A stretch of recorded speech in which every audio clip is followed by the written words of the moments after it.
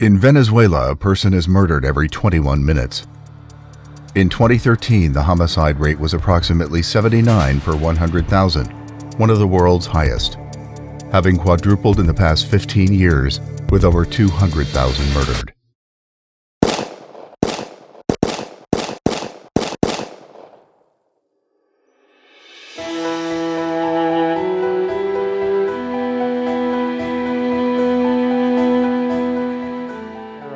Last year, by official figures, 25,000 homicides in Venezuela, a country that's uh, 26 million.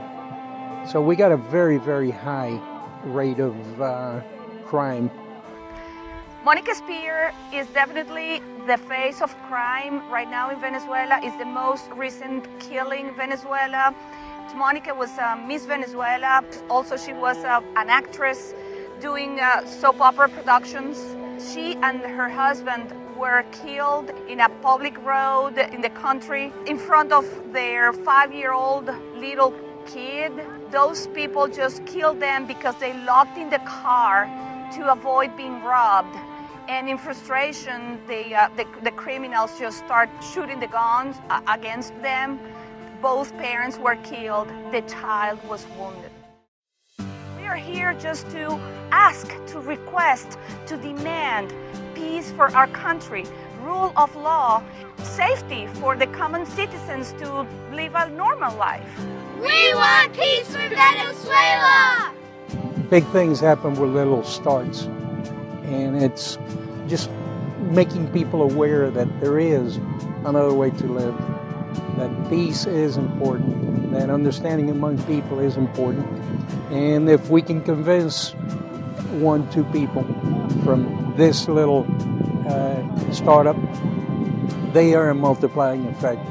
And maybe what we can do is say there has got to be some tolerance. We've gone a little bit too far, and you need to edge it back the other way. In our country, the media is completely uh, banned. They don't have freedom of speech. So the social networks, such Twitter, Instagram, uh, Facebook, is the only way for the people to have the real information. You go to a newspaper in Venezuela, you don't know what is going on in the country. All the media is banned. So that's why we are here today. Um, one of the main goals is to create awareness and show the world what's going on um, and show the Venezuelans that we haven't forgotten about about our fight that we're still we're, we're still supporting them and we're still doing everything that we can with the resources we have here.